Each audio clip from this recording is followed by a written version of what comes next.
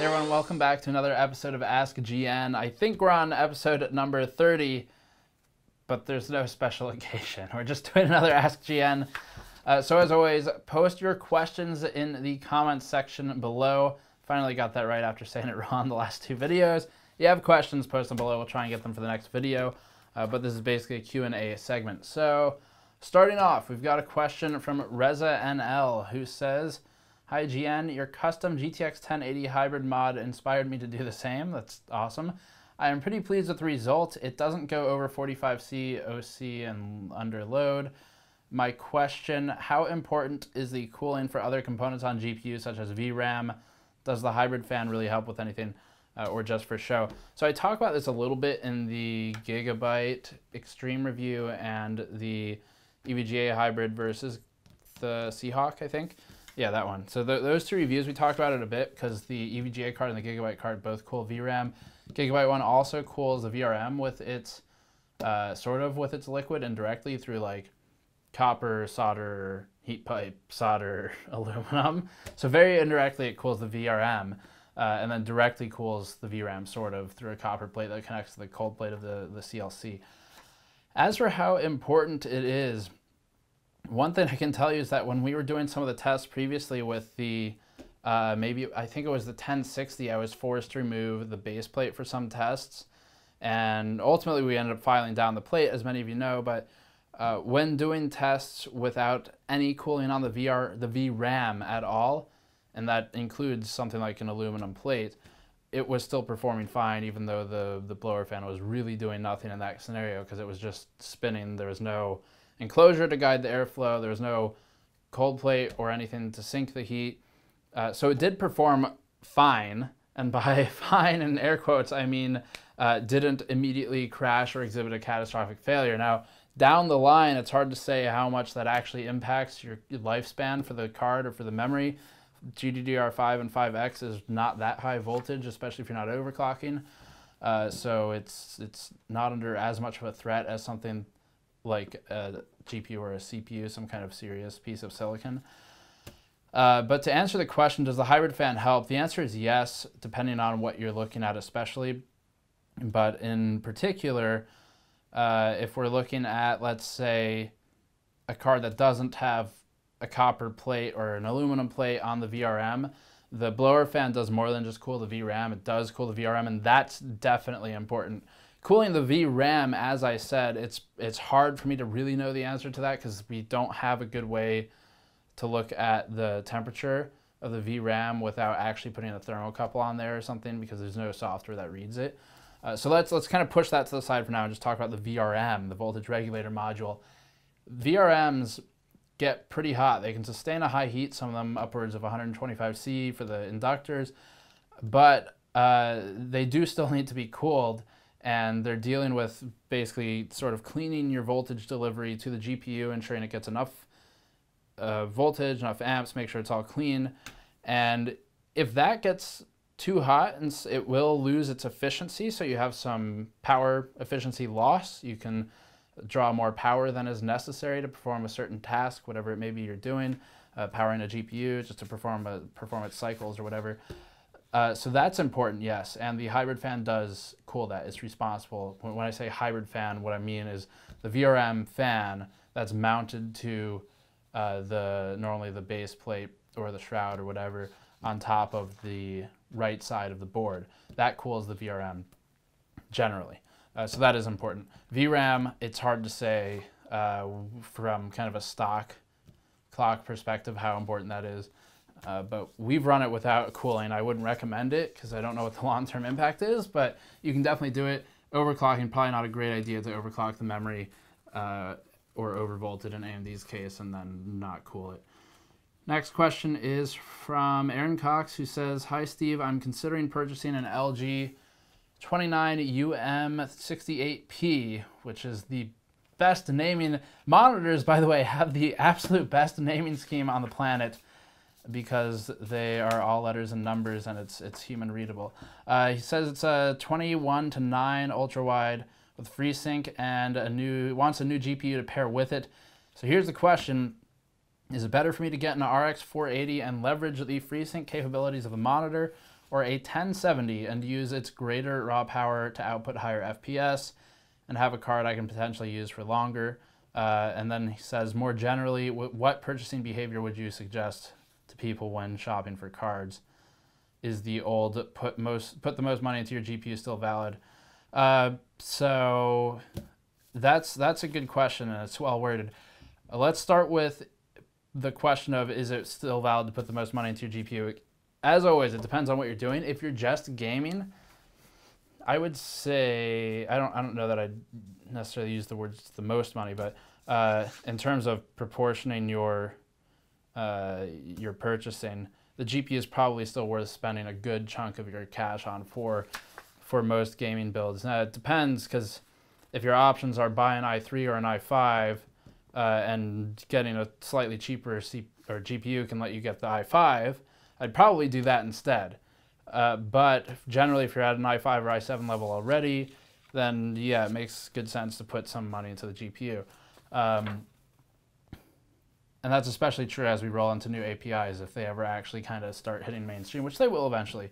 Uh, but it's it's still a little while out, so I wouldn't buy based on strictly API future promises right now. But that is that is a point where CPUs will kind of be they're still really relevant. We talked about this before, obviously, but you will be able to get away with a slightly lower spec CPU if you've got a good GPU that can handle juggle all the draw calls and things like that from a low level API. As for the monitor specifically, uh, that is a very hard question because AMD just doesn't have something that directly competes with 1070, 1080 current generation right now. And uh, that's not going to happen until Vega. So it really does force you into the position of, well, I, you either have to buy a 1070 plus to get higher performance or a 480 and you get FreeSync. And I think my suggestion would probably be, depending on what video card you have now, it may be worth waiting until uh, AMD pushes their Vega GPUs just to get that FreeSync because it, it would kind of suck to lose FreeSync. It's actually, just like G-Sync is, it's actually a good feature. Uh, the other option, of course, buy a different monitor, but G-Sync is expensive and the competitors in ultra-wide space are very expensive, like the Predator, which is a thousand plus dollars. So uh, my answer to you would be, depending on how you feel, either wait and look at Vega, uh, or maybe buy an RX 480 if you're okay with sitting on using something now and then pulling it out later, put it in a different box or whatever. They're not that expensive relative to what you're looking at purchasing anyway. So if you have a way to to repurpose it and upgrade in a couple months, then that might be an okay path to take. But otherwise, I'd kind of wait. Uh, 1070 is a good card though. But next question, FD6 says, in your experience, which components are more prone to fail from voltage issues? I only ask because I had my fan and audio cables melt down on my R5 case, and I was astonished out of all my parts and never thought the case would be an issue.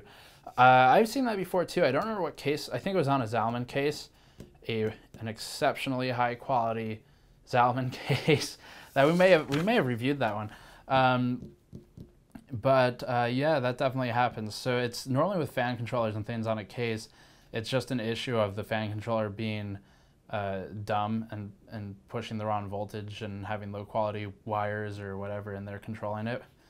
Uh, but for the question of what normally fails in my experience, I have had a good amount of motherboards fail from voltage being pushed through the CPU, things like that, especially FX 9000 series CPUs.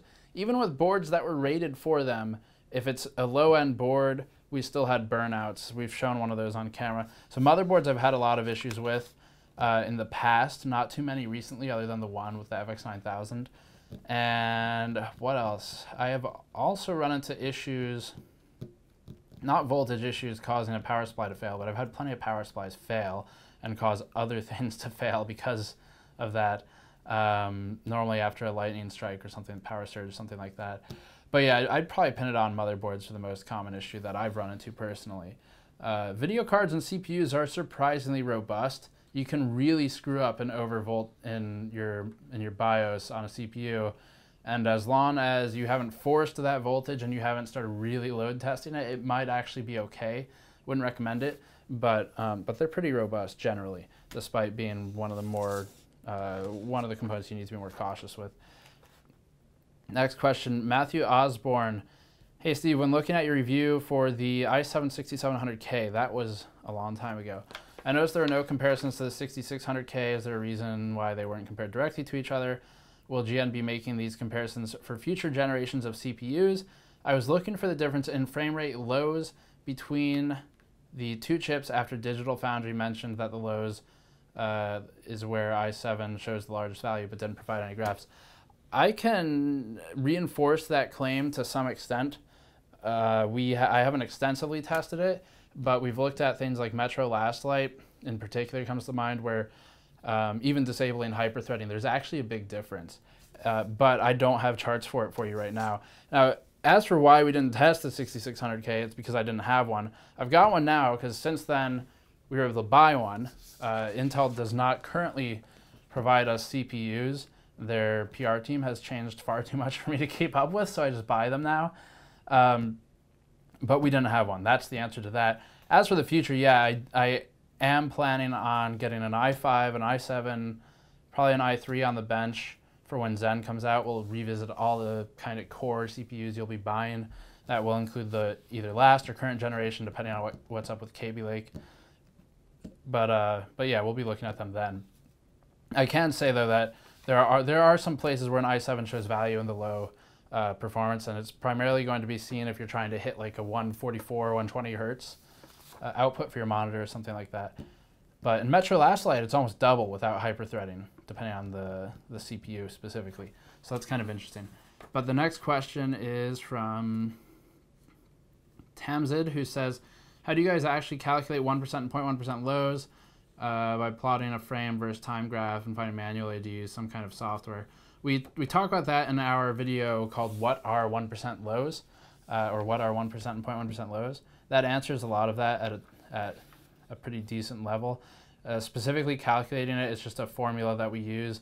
We have a Python script right now that was done in-house, so the script digs through either presentmon or whatever. Right now it's digging through the presentmon data, uh, which we have to use for DX12 and Vulkan testing. So it looks through presentmon at the millisecond present, like the, the on present millisecond um, uh, like the latency between the frames. And from there, it can calculate based on frame versus milliseconds, what are the slowest 1% of frames, what are the slowest 0.1% of frames, and then it averages those and you have your value. So that bypasses minimums, things like that. Talk about that more in depth in the other video I mentioned. I think this is the last question. Uh, Dice, uh, Deviant Dice says, will you ever compare this generation's hardware to that of two generations ago e.g. R9 280 or 760. So we do that in the original reviews um, with the, well, we two generations ago, okay. We did that with AMD because just the volume of cards thing. So I did look at that with AMD with the 280 and the 280X or something, 285, one of those, and the 380X. I don't think I've actually done that for the current generation Polaris cards or Pascal cards. Uh, that is a good question. That is also a good request. It normally becomes a time thing. My current plan is, because of this question a couple others like it, is to, to visit these uh, two generation old cards specifically in one-off articles sometime in the next couple months and just basically do a how is the 760 today, how is this, the 280 today or whatever, and see how they perform now versus other cards that we have on the bench currently. That's the current plan. I, I don't think we necessarily have the bandwidth to include them in specific game benchmarks, for example, Gears of War 4 or Battlefield 1. Uh, I'll try, but it's, it's really a time thing and there's a high demand for current gen stuff and one gen old stuff. Uh, but we will try and do them in one-offs because of that question and, and others. So as always, thank you for watching. Patreon link in the post roll video to help us out directly. You can subscribe for more content. Uh, leave a comment below for next week's episode. I'll see you all next time.